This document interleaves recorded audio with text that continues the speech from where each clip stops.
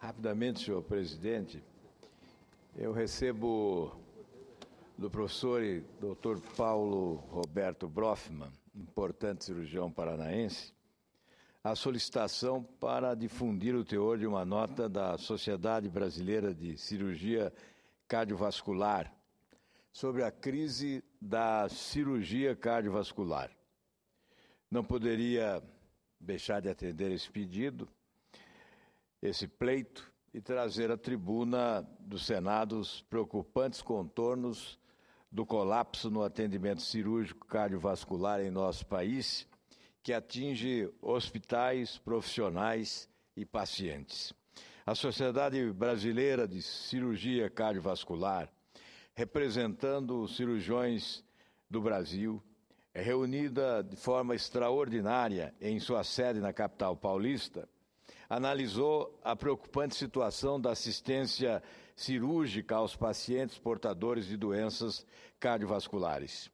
Segundo o comunicado, constatou-se um grave e iminente risco de colapso no atendimento cirúrgico, em especial às crianças cardiopatas, com diminuição progressiva e acentuada no número de cirurgias cardiovasculares realizadas nos últimos cinco anos, além da não incorporação de novas tecnologias, e por esse motivo resolve-se alertar todas as autoridades para que se estabeleça uma interlocução imediata de discussão e equacionamento dos problemas existentes, preservando-se o legítimo direito da população de acesso universal à saúde.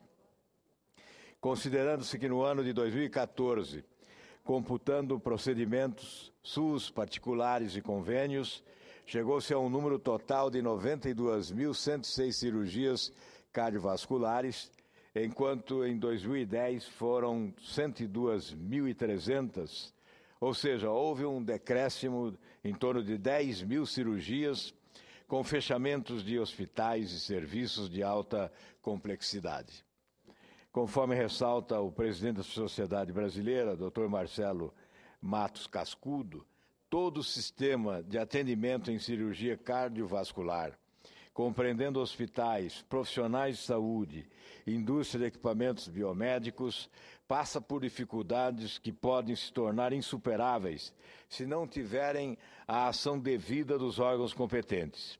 Isso certamente acarretará, acarretará o desmonte do sistema público de alta complexidade, em particular a cirurgia cardiovascular, com danos irreparáveis ao equilíbrio da sociedade. E prossegue afirmando: há que se ressaltar a importância da manutenção do bom funcionamento dessa especialidade, uma vez que as doenças cardiovasculares são responsáveis por 32% das mortes no país.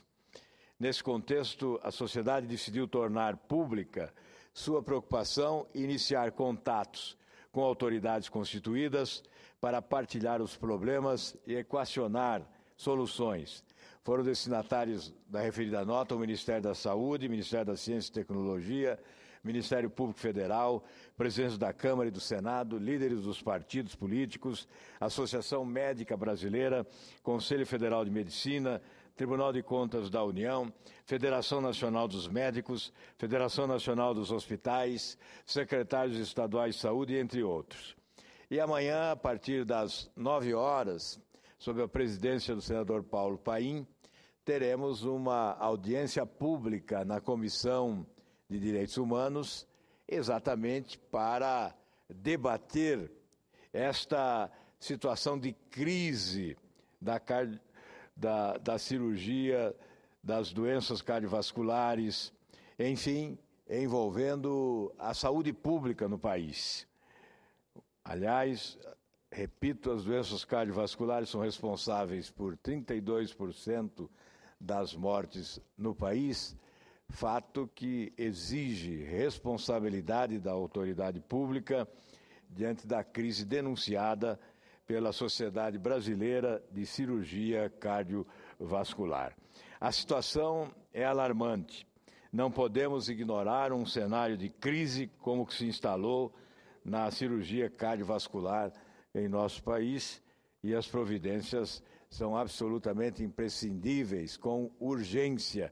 Esperamos que nesta audiência pública de amanhã, com autoridades do setor, seja possível encontrar soluções para esta crise. Muito obrigado, senhor presidente.